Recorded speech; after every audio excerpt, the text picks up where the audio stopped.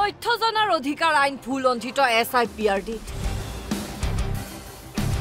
প্ৰথম আপিলৰ ত্ৰিছ দিনৰ পাছত অসম লাইফ টুৱেণ্টি ফ'ৰলৈ মাচুল বিচাৰি এখনৰ পাছত সিখন পত্ৰ। দুৰ্নীতিক গাপ দিবলৈ আপ্ৰাণ চেষ্টা এছ আই পি আৰ ডিৰ।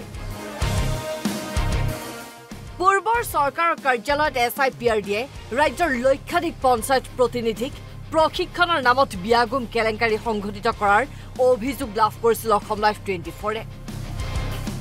ইয়াৰ পৰৱৰ্তী পৰ্যায়ত নিজাববীয়া অনুসন্ধানত নামিছিল অসম লাইফ টুৱেণ্টি ফ'ৰ। তথ্য জনাৰ অধিকাৰ আইন দুহেজাৰ পাঁচৰ অধীনত বিগত তিনিটা বিত্তীয় বৰ্ষত প্ৰশিক্ষণৰ নামত কিমান টকা অনুমোদন হ'ল কিমান টকা খৰচ হ'ল?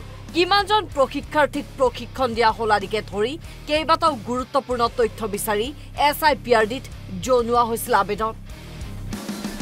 কিন্তু ত্ৰিছ দিন উকলি যোৱাৰ পাছত বিভাগটোৰ তৰফৰ পৰা অসম লাইফ টুৱেণ্টি ফ'ৰলৈ প্ৰেৰণ কৰা হৈছিল একাধিক প্ৰশ্নৰ সংগতিবিহীন উত্তৰ। পৰৱৰ্তী সময়ত এই উত্তৰত আমি সন্তুষ্ট নহৈ আৰু বিচৰা তথ্যখিনি শুদ্ধ ৰূপত উত্তৰ বিচাৰি আমি প্ৰথম শুনানি কৰ্তৃপক্ষক আবেদন জনাওঁ। কিন্তু বৰ্তমানেও যেন বিচৰা তথ্য দিবলৈ নাৰাজ এছ আই পি আৰ ডিৰ কৰ্তৃপক্ষ কাৰণ তথ্য দিলেই ওলাই পৰিব জুলুঙাৰ মেকুৰী। অভিযোগ উত্থাপন হৈছিল। কভিড কালৰ পৰা পূৰ্বৰ চৰকাৰৰ দিনলৈ S I P R D কৰ্তৃপক্ষই প্ৰায় এশ কোটি টকা কেলেংকাৰী সংঘটিত কৰিছিল। আৰু ইয়াৰ পাছতে এই অভিযান যিহেতু অসম লাইফ টুৱেণ্টি ফ'ৰে অব্যাহত ৰাখিছে।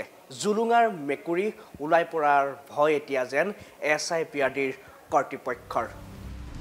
আৰ টি আইৰ আইনত স্পষ্টকৈ উল্লেখ আছে যে আবেদনৰ ত্ৰিছ দিন উকলি যোৱা পাছত কৰ্তৃপক্ষই আবেদনকাৰীৰ পৰা কোনো ধৰণৰ ডকুমেণ্টেশ্যন চাৰ্জ সংগ্ৰহ কৰিব নোৱাৰিব। কিন্তু S I P R D কৰ্তৃপক্ষই আবেদনটো দূৰৰে কথা। প্ৰথম শুনানিৰো ত্ৰিছ দিন উকলি যোৱাৰ পাছতো ডকুমেণ্টেশ্যন চাৰ্জ বিচাৰি এই পৰ্যন্ত অসম লাইফ টুৱেণ্টি ফ'ৰলৈ প্ৰেৰণ কৰিছে একাধিক পত্ৰ। য'ত তিনি হেজাৰৰ পৰা বাৰ হাজাৰলৈকে ধন জমা দিবলৈ জাননী প্ৰেৰণ কৰা দেখিবলৈ পোৱা গৈছে। উল্লেখযোগ্য যে অনুৰূপ ঘটনা সংঘটিত হৈছে ঝাৰখণ্ডতো। ৰাজ্যখনৰ দ্বিতীয় শুনানিৰ সময়ত কৰ্তৃপক্ষই আবেদনকাৰীৰ পৰা ডকুমেণ্টেশ্যন চাৰ্জ সংগ্ৰহ কৰিছিল যদিও তথ্য জনাৰ অধিকাৰ আইনত সাত নম্বৰ ধাৰাৰ ছয় নম্বৰ অনুচ্ছেদৰ অধীনত আবেদনকাৰীক সংগ্ৰহ কৰা সম্পূৰ্ণ ধন উভতাই দিবলৈ বাধ্য হৈছিল। যদি তথ্য সংগ্ৰহ কৰিবলৈ মাচুল আদায়ে দিব লাগে তেন্তে আবেদন কৰা ত্ৰিছ দিনৰ ভিতৰত কিয় S I P R D কৰ্তৃপক্ষই প্ৰেৰণ নকৰিল জাননী? প্ৰথম অৱস্থাত কিয় প্ৰশ্নৰ লগত সংগতি নথকা উত্তৰ প্ৰেৰণ কৰা হৈছিল অসম লাইফ টুৱেণ্টি ফ'ৰলৈ বাৰে বাৰে কিয় আৰ টি আই আইনক ভৰিয়ে মোহাৰিছে মন্ত্ৰী ৰঞ্জিত কুমাৰ দাসৰ S I P R D কৰ্তৃপক্ষই?